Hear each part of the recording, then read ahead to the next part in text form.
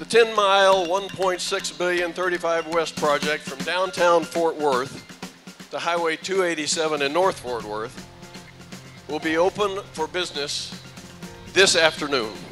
The I 35E project replaces 60 year old infrastructure and has brought the highway system here in Tarrant County into the 21st century.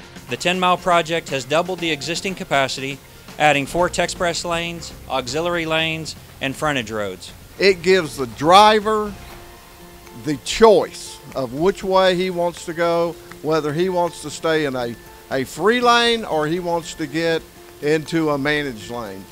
TxDOT appreciates the partnership with the NTE Mobility Partners and with our regional partners. It takes a partnership, it takes us working together to deliver these much needed transportation projects. You're seeing next generation project delivery in an interstate highway that already has over 100,000 cars a day traveling in it. I 35 has been in construction of one type or another for 30 years. And so most people are going to be totally surprised when all the barriers go down, and they're going to be thrilled, I can tell you that. The express lanes are already alleviating congestion for 1 million motorists a day in the Dallas-Fort Worth region, and this number will only continue to grow.